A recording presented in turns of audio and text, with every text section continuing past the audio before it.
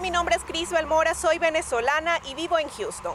Las tradiciones de los inmigrantes que hacen vida en este país son un patrimonio que muchos nos traemos en el equipaje. Y por ejemplo, para la comunidad guatemalteca es una tarea diaria mantener vivas sus raíces en las nuevas generaciones. Surgió la idea de tener un grupo folclórico de niños reunirnos mensualmente y practicar lo que son los bailes folclóricos guatemaltecos, hablar de nuestra bandera, del color de la bandera, de los símbolos patrios y también poder llevar a los niños a diferentes actividades, desfiles, festivales, a donde nosotros representamos Guatemala.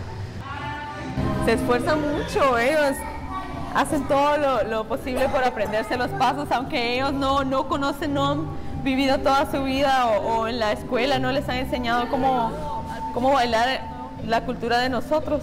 El papá y yo somos de Guatemala, entonces queremos de que él crezca con esa cultura, con ese, con ese saber. Dios me trajo a este país con algún propósito y yo pienso que uno de los propósitos es alentar a, a, otras familias, a otras personas y que se sientan orgullosos de ser guatemaltecos.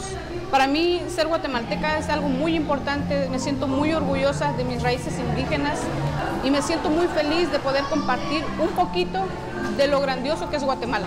Guatemala no se fue de mí, eh, lo, lo llevo en mi corazón y por eso nuestro grupo se llama Chapines de Corazón, porque Estamos fuera de nuestro país, pero tenemos a nuestro país en nuestro corazón y es lo mismo que queremos enseñarle a nuestros hijos y que se sientan orgullosos de portar un traje típico o de portar nuestra bandera azul y blanca.